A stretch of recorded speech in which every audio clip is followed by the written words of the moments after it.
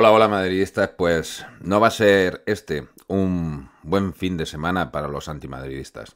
Tengo mucha curiosidad por ver qué van a decir ahora todos esos cafres que decían que Vinicius exageraba y que no había ningún problema con el racismo en este país.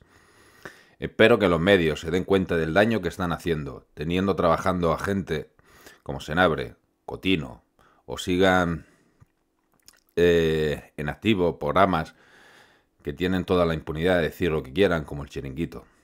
Vinicio ya ha racionado a la ola de racismo que sufre el fútbol español, pidiendo cárcel para los racistas. Ellos también provocan, desde luego la imagen de la Liga Española no puede estar más dañada. Racismo, corrupción en la federación, caso Negreira, caso Rubielas y sus pesos. Me imagino que hoy será un día duro para los que han defendido que la culpa del racismo en España es porque Vinicius provoca.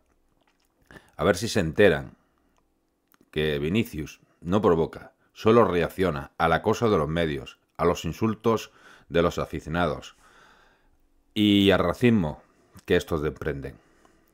¿Y ahora qué dirán? Esa es mi pregunta. La verdad es que tengo mucha ganas de ver la reacción de mucha gente. Vamos a comentar la noticia.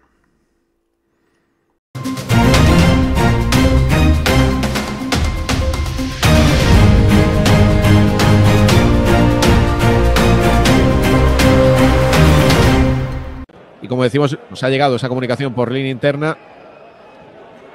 Ahí vemos el agarrón de la bufanda. En la que nos concretan que se le ha gritado a César algún insulto racista. Y como decimos, nos ha llegado esa comunicación por línea interna. Vemos el agarrón de la bufanda.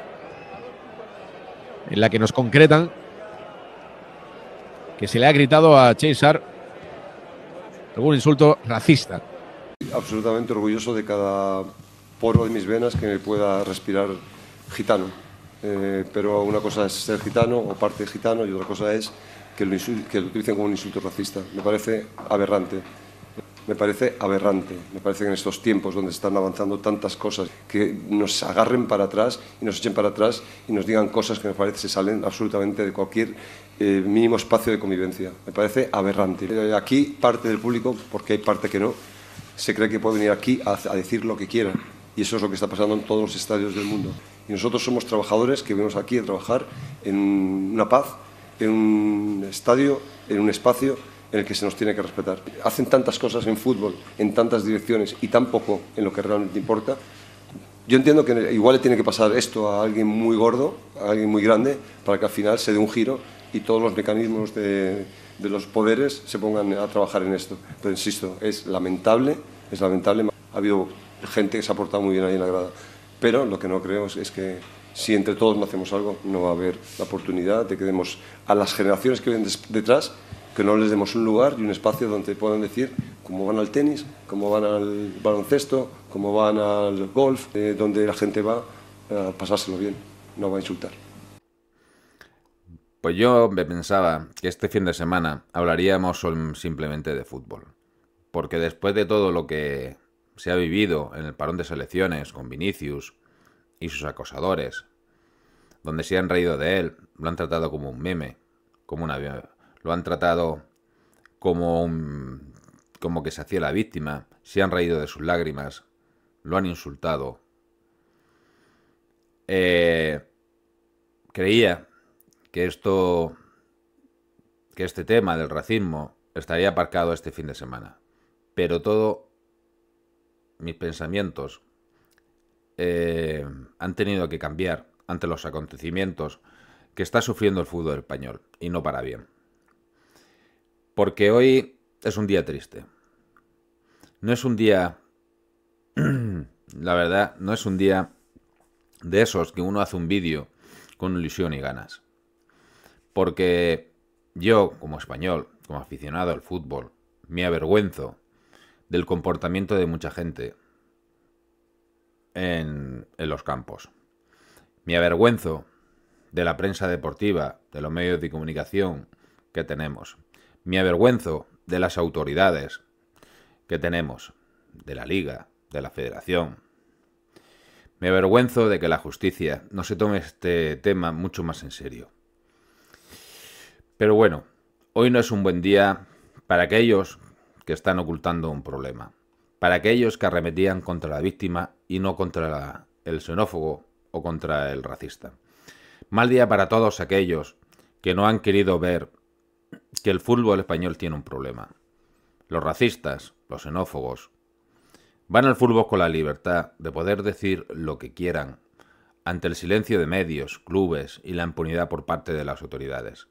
Ayer sufrieron insultos racistas a Acuña, Quique Sánchez Flores y Sar.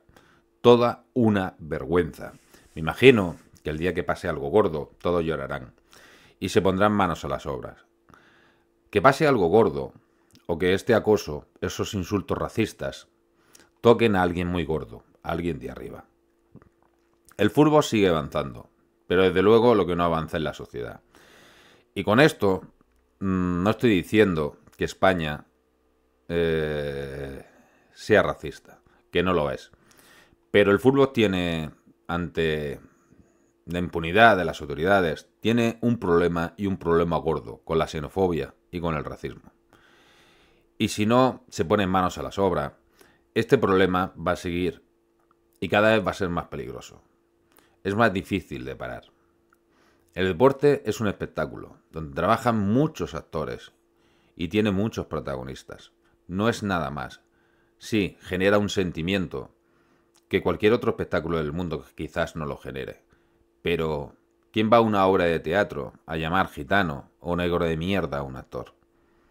Nadie, ¿verdad? Ni al tenis, ni al golf. Pero ¿qué, ¿qué se cree esa gente para sentirse superior al resto por su piel, o su raza, o su origen? Pero la fuerza se la da la impunidad que están teniendo. Porque hasta el día de hoy el racismo era culpa eh, de que Vinicius provocaba. Cuando el problema es que la liga ha pasado de todo Muchos clubes, como el Valencia, han defendido al racista, muchos medios han justificado el insulto racista por el comportamiento del negro, y muchos aficionados se han creído que el negro es menos negro por ser del Real Madrid. Y las autoridades han pasado del tema. Quizás si la FIFA se planteara, con todo lo que está sucediendo en el mundo del fútbol de este país, quitar a España como sede del Mundial, todo esto cambiaría. Los medios cambiarían, los clubes cambiarían, las autoridades y la federación y la liga buscarían medidas para erradicar un problema cada vez mayor. Qué ganas tengo de escuchar a todos los antimadridistas. Pero antes de despedirme, quiero dar todo mi apoyo a Acuña, a Quique Sánchez Flores, del Sevilla, y a Sar y al Rayo Majalaonda. Bueno, eh, es un momento reflexionar donde el deporte queda en un segundo plano ante un tema mucho más importante como es la xenofobia y el racismo. Bueno, esto ha sido todo. Si os ha gustado el vídeo, dale un like y compartir. Y por supuesto, si queréis más noticias como esta, suscribirse que es gratis. Un saludo, madridistas.